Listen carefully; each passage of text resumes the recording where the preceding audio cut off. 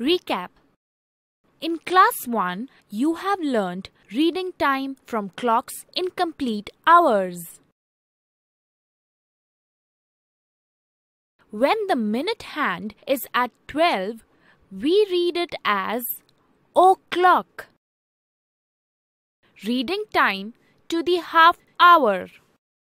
When the minute hand is at 6, we read it as half past half past one, half past three, half past seven, half past ten.